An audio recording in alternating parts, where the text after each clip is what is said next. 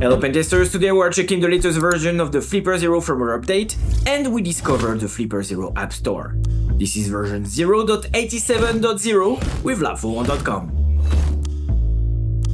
Get the Flipper app on your phone if you haven't already and make sure it is updated if you already have it. Click Apps on your Flipper Zero app and browse through categories. Just enter the category you are interested in and click Install to download the app you want. And voila, the app is transferred to your Flipper Zero. All main apps like sub-gigahertz, NFC, RFID and more now reside on the SD card. Infrared gets a new protocol and more remotes are added in the universal remote. In addition, there are many bug fixes, enhancements and new contributors to the Flipper Zero community. Stay updated with lab4one.com for more Flipper Zero news, update your device today and explore apps like never before. Make sure to visit lab4one.com to get your Flipper Zero and accessories with the best service and the best price. Take care and see you at the next Flipper Zero update.